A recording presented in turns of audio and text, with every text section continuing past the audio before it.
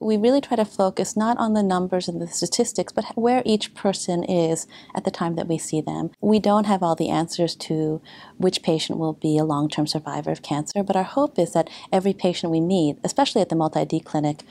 um,